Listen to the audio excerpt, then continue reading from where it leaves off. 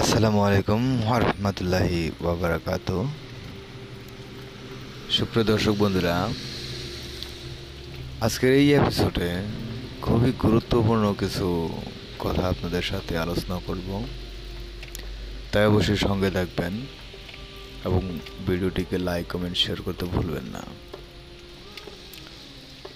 আসল কথা হলো, যাদের বীর্য পাতল যারা সহবাসে অধিক সময় টিকতে পারেন না, তাদের জন্য এই ভিডিওটা খুবই উপকারপূর্ণ।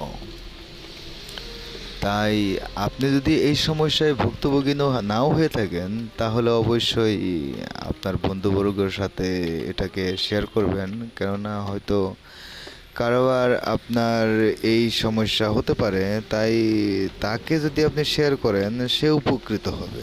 এই জন্য আপনি তাকে শেয়ার করেন। তো প্রিয় ভাইরা